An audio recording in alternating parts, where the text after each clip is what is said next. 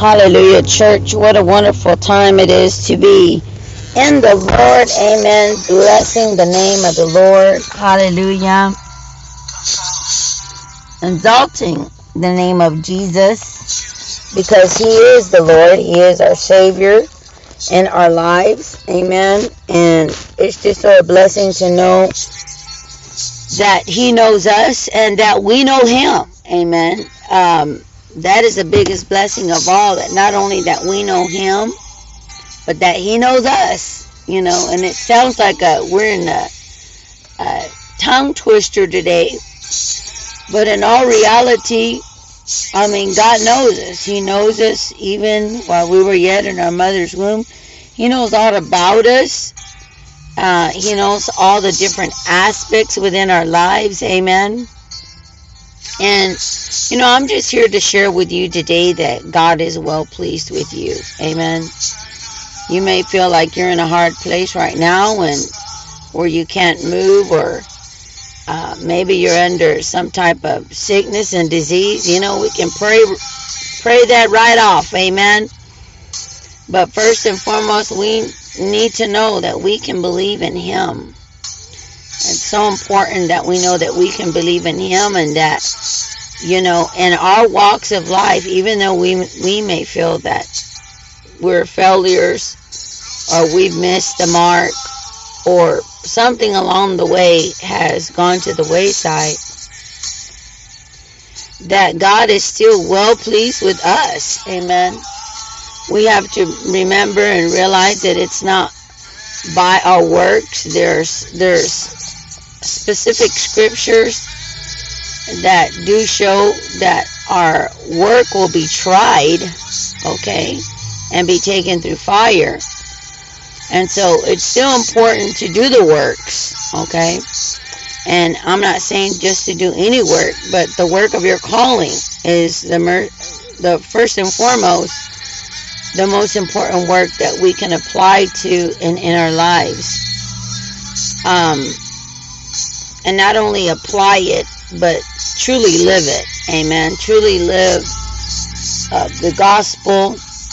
Truly live out that with what God has placed and put in our lives, our, our lives with purpose and our lives with destiny. And sometimes I know that that um you just don't feel like that person. But you know, as more as long as you continually to march this thing out, God's going to give you more revelation, more power, more understanding, more willpower, okay?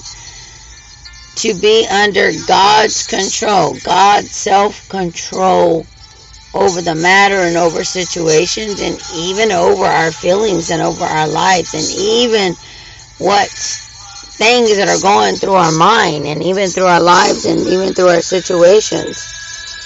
And I know that it can feel heavy some, but I believe that's the reason why God has given us His Word so that we can always count it as all joy. And you know, many are looking for a pastor and saying, well, all I need is a pastor. And you know, yes, it's good to have an earthly pastor. Amen. And just like it's good to have an earthly father. Um, but it's so much more important to know that we do have a heavenly father. Amen. And we do have a heavenly pastor as well. Um, before I go into a little bit of the word that I'm going to be sharing with you, I just really felt led to share Psalms 23. I know we've done teachings upon teachings and precepts upon this, but I really want to take the word at memory and confess that over our lives and then as we go on um, the important thing out of this is I want you to see where the Lord is saying that He is our shepherd. Amen. And the shepherd is another way of saying pastor. Amen. And so there at Psalms 23, the Lord is my shepherd. Amen. He is our pastor. And God is saying that I, me, his people, right? Take it personal. That I have everything that I need. I have everything that I need. So let us rest. Let us rest in that. You know what? I have everything that I need. I have these green pastures. He leads me besides the calm waters. He gives me this new strength and power. He leads me on the paths that are right. Okay? We're confessing the word of God here today. We're taking it to memory as the Lord has spoken that we meditate on God's word day and night. And it is for the good of his name. In other words, God's going to get the recognition. God's going to get the glory. God's going to get the honor. And anything and everything that we can do or even say. Because even if I walk through a very dark valley, a darkness of a valley, a dark valley, I will not be afraid because you are with me. In other words, God is going to be with us in that dark valley. Maybe it's a dark time in your life. A loved one has has left you and gone on into your future, which is heaven. No more sickness, no more pain, no more crying. Amen. I know that we can be selfish and, and love our loved ones right now. But when it's their time, we have to release and let go and give it to God. Because our bodies are not eternal. We are here just like it says, you know, we're here today but gone tomorrow, like the wind that blows in today. And we don't even know where it's coming or where it's going. You know, God feeds the birds and He watches over us and He takes care of us and He knows us. See, your rod, God's rod is so perfect and your walking stick, they comfort me. You know why? Because that stick, when we when we tell our child, you know what, go get a stick. Uh oh, you you you have a sense of trouble, and especially if they have a rod in their hand. Oh my gosh, like, okay, I know I'm in for it. But that is God's direction and His safekeeping That's God's direction in His love. That's God's direction in His mercy. That's God's direction in His grace. That's God's direction where He's leading us and He's telling us, you know what? There's no reason for you to be afraid. I want you to see that I am God. I want you to see that I'm the one that's doing all these things. And I'm going to continually to do all these things because I am here to bless your life. I'm here to be in your life. I'm be I am here to be for your life. You know, surely it's your goodness and your love that will be with me all the days of my life. That's scripture. Why? Because God has prepared a meal for me. In other words, God has prepared my life for me. Amen. In front even of my enemies, but you have poured this oil on my head and you filled my cup to this overflow that I know that it's not about me, it's not just about my myself, but it's about what God is doing in me and through me to make an impact in my life and in for the life of others. Amen. Hallelujah. You poured your oil on my head and you filled my cup to the overflowing, that surely your goodness and your love will be with me all my life. Isn't that a wonderful promise to know that Jesus is with us and to carry us through all of our lives? See, I will live in the house of the Lord forever. And church, I don't know about you and how you feel about that, but living in the Lord's house all the days of my life, I mean, that's not only an honor, but that's a privilege. And especially when we have recognition to the presence of God and knowing that God is always with us and He's for us and He's going to work all these things out through us as well as in us. Amen. Hallelujah. And I believe that's the reason why he took me through to this word of God here today. And I'm going to be reading there in First Peter. First Peter. And we're going to go ahead and start there in verse number 5. Amen.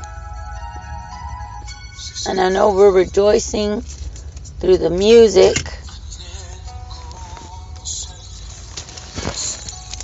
Hallelujah. We're just trying to keep all order of forms right here where we're at. Amen. See, in the same way, God is saying that young people should be willing to be under older people. And all of you should be humble with each other. Amen. And so God is showing us here how to get along. We need to be humble towards one another. Amen. Because God is against the proud, but He gives grace to the humble. And so the more that we are humble, then the grace of God is upon our lives. And humble is every sense of the word is believing the word of God and what God word says in our lives. That's to live a humble life. Amen. And to live it according to God's promise in God's ways and God's uh, like you could say commandments, his rules, his regulations, all the things that are borderline that he shows us how we can live. Amen. To be that he gives that grace to the humble. And be humble under God's powerful hand so that he will lift you up.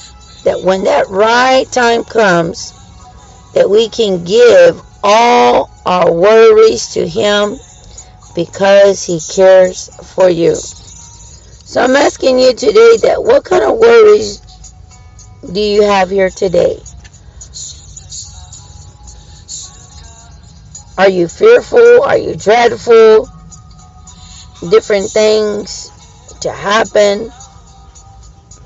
You know, we have a a famous saying around my husband uh, because every time that something seems to happen, you know, the Lord confirms, well, you're not going to die. I mean, you're not going to die because of this, or you're not going to die because of that, or you're not going to die because, you know, you can fill in the blank right there. Because this is happening, or because that's happening. Okay, you're not going to die, you know? In other words, we're going to go through some sufferings. We're going to go through some tribulations. We're going to go through some circumstances. We're going to be stretched out because we're going to be tested. And we are being tested and we are being trial. But you know what? Be humble under God's powerful hand so that He will lift you up when the right time comes. To give all your worries to Him because He cares about you. So, see, God is saying, control yourselves. Control yourselves. And be careful. Why? Because the devil, your enemy, goes around like a roaring lion and he's looking for someone to eat. See, that's the the devil at heart on his end, that he is always looking for someone to eat, not something, someone. And this is where we have to stand our ground. And even though he's roaring, it's just a roar. And if he if we allow him, this is only if we allow him, okay, to bring uh, devastation upon our lives through uh, so many things. You know, the enemy says through the Word of God, when it talks about the enemy, that the enemy comes to steal, kill, and destroy. But Jesus has said that I have come that you may have life and enjoy the life. And I'm believing this is the life to the end. I believe this is the life to the finish. Because as long as we have Jesus, that doesn't mean that everything's going to be a-okay. But it does mean that we're going to have favor on our side. Amen. And Jesus is going to help us to fight our battles. Because he fights our battles. We have angelic realms. Amen. But as even as the Lord is producing and doing his work, the enemy is doing his. Because he's just roaring and he's looking for someone to eat and to devour. So we got to be watchful. We have to have the mind of Christ. We have to have our helmet of salvation. We got to keep watch over our hearts. See, that just because we're saved, that doesn't mean that we get to lay back and not count on what the Lord has spoken. No, we have to be on guard and always watch that we're mindful what the Lord speaks about. He says, refuse to give him, refuse to give in to him by standing strong in your faith. And see, that's what's going to be challenged is our faith and our trust and our walk in the Lord. That you know that your Christian family all over the world is having the same kinds of sufferings. You know, he didn't say that the Christian life would be easy. But his word did say that I will never leave you and I will never forsake you. This is God speaking to his people. And so if God is for us, who then can be against us, stand against us? See, you know that your Christian family all over the world is having the same kind of suffering. And after you have suffered a short time, God who gives all the grace will make everything right. He will make you strong and and support you and he will keep you from falling. See, He called you to share in His glory in Christ. In other words, this is a glory that will continue forever. This is a glory that is all powerful. This is a glory that is His forever and ever and ever and ever and ever. Amen. To God be the glory in all of our present circumstances. And see, as we see here, the apostle writing to the church, this letter is out of First Peter, the apostle of Christ Jesus, to God's chosen people away from their homes and they're scattered all around the country. But God planned long ago to choose. He chose you by what? By making you his holy people, which is the Spirit's work. Seeing God wanted you to obey him and to be made clean by the blood of the death of Jesus Christ. See, so God wants us to obey him. God makes us clean by his blood of the death of our Lord Jesus Christ, where we have grace and we have peace, and that God will give it to us the more forever and ever. See, he wrote this because as the final greetings that were given here, it was to help the brother and Silas, who I know who is a faithful brother, who is a faithful sister.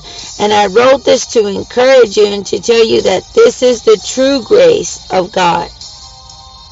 That we must stand strong in the grace.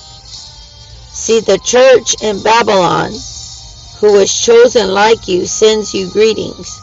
Mark, my son in Christ, also greets you, that we give each other a kiss of Christian love when you meet.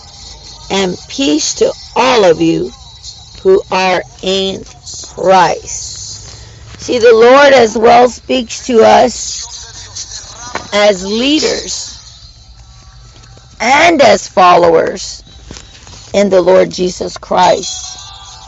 You know, He wants us to stand in the liberty of the Lord, stand fast in our faith, in our belief, in what God has begun. He is faithful to, as well as to complete that process in our lives. And knowing that, you know what?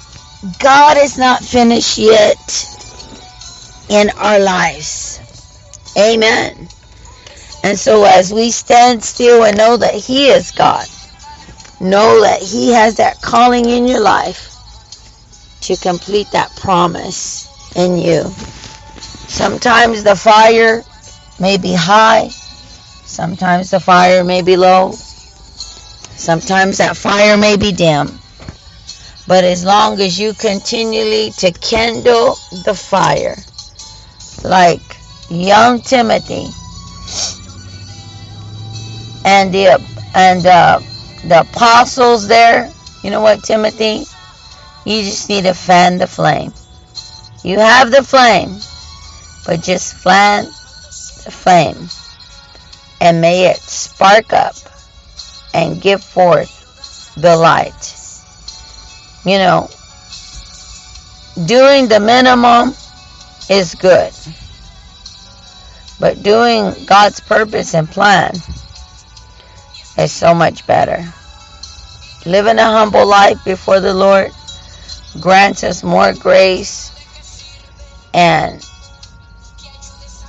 God chooses and wills what he honors, what he lifts up as we draw all men unto God. Amen. He said that he would draw all men unto you. Amen. So I pray that this it's it's a preaching and, and a little bit of teaching there so that we can grow and we're alert and alarmed today, that we be watchful over our minds and the directions and the decisions that we make today. And I just pray that your day will be so very prosperous in the Lord. Amen. So let us pray here today as we be dismissed.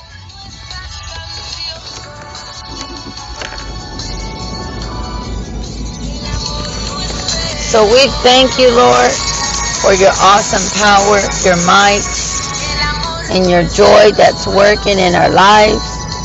We thank you, Lord, that you are not finished because you complete your promise in our lives. I thank you, Lord, for the joy of my salvation. I thank you, Lord, that you are my peacemaker and keeper. And Lord, you allow me to remain strong and to be strong. And Lord, that we will continually to kindle that fire, to burn that fire, Lord, and to be on fire in the things of Christ. And that you have awakened our heart, our soul, our mind. You've given us strength and power and might.